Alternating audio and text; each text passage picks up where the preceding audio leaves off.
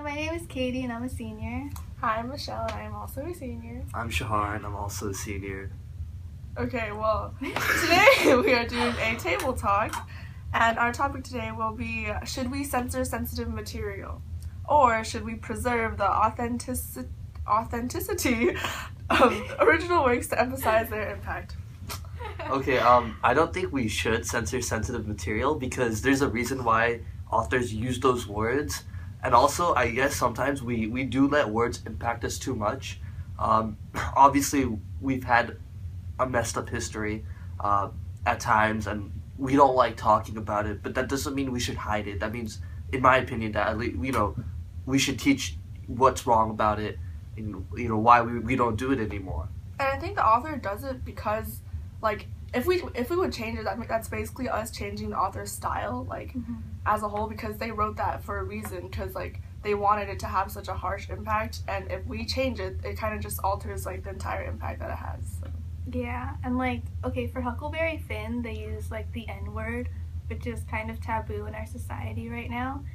And I think that's kind of weird that like some schools would censor that because they use it for like shock value. It's not like they're using it gratuitously. They it has meaning to it, and it's like it gives the book history and kind of background, and it shows what's so terrible about it. So And I think that's kind of ironic because, like, when you really think about it, like, is it really that taboo? Because it's just such a common thing, especially nowadays with, like, you know, like the modern generation. Like, come on, have you heard the radio? Okay, maybe they do censor. See, they do censor Censor on on the radio, radio. but like, what does that really say? Because like, just like people in general, they just can't. They use that word and like they just throw it around so like. They just Freely. freely, and then like, do people really get offended?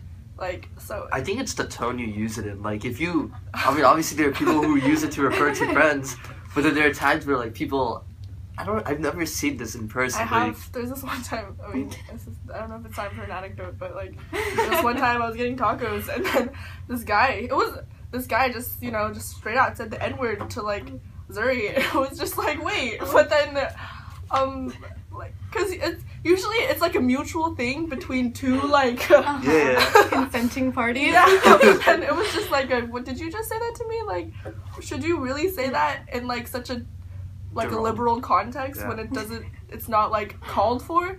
But Is it the tone or is it the word or is it I think it's the intent behind it, right?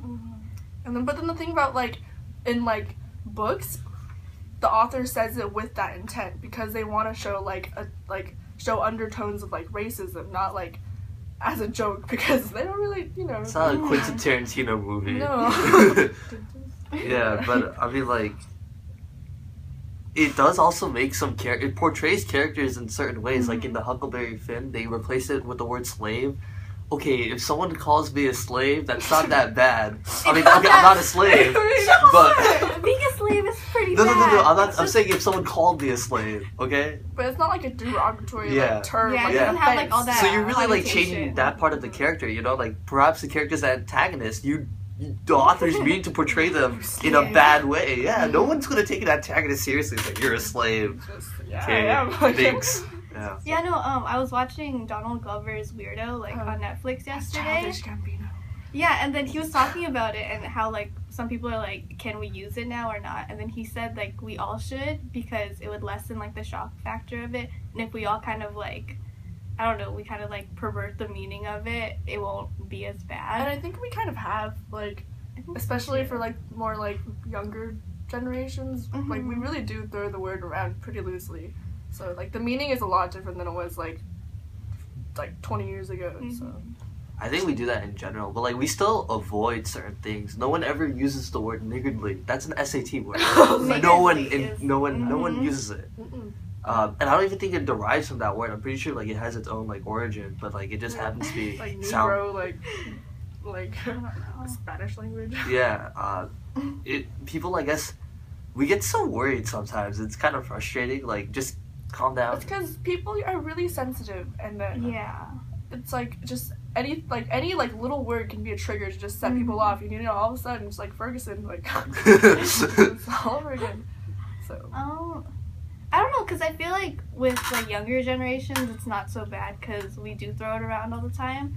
But for older generations, I feel like it holds more weight, and that's like, like, when do you when do you hear kind of adults careful. throw around like you know that word? I haven't. But I will say, I think it is kind of. I mean, like you have to. I don't personally say that word. I think when people do openly, like it's kind of tactless. Um, like you should, uh, you know, if you say that word, fine, that's your business. But just don't be stupid about it and like say it like op- all openly in public.